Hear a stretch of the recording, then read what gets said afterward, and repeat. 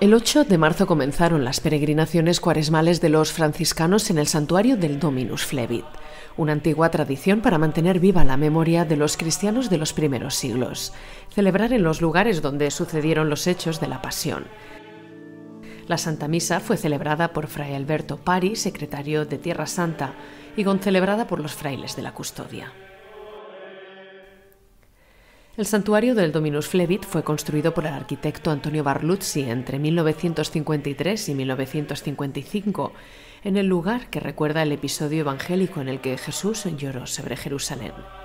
Y del llanto de un Dios que se hizo carne habló en su homilía Fray Alessandro Conillo, profesor del Studium Biblicum Franciscanum.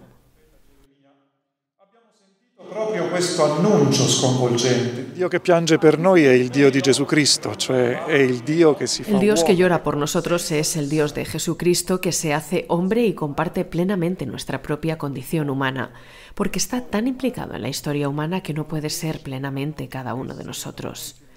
No mira impasible la condición miserable del hombre pecador, sino que entra en la historia porque tiene esta preocupación por el bien del hombre, al que está ligado con un pacto de alianza eterna.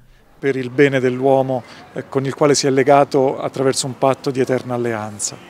Incluso hay, ante la historia del hombre inmerso en diversas situaciones de pecado, Dios quiere llamar a sus hijos a volver a Él a través de su llanto.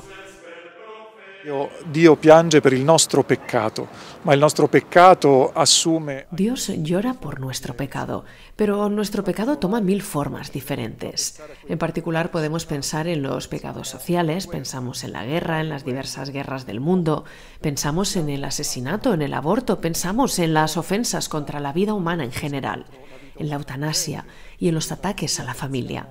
Pensemos en todas las condiciones en las que personalmente como pecadores, nosotros individualmente y luego también como sociedad, nos hemos dejado arrastrar al pecado en lugar de volvernos hacia Dios, que llora precisamente porque está ofendido por este pecado nuestro, porque quiere llamarnos a sí mismo a través de sus lágrimas.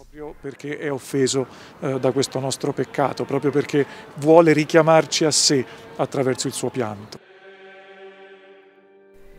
Un camino de cuaresma que llevará cada miércoles a franciscanos, peregrinos y cristianos locales a hacer una parada en los lugares de la pasión, desde Getsemaní hasta los santuarios de la flagelación.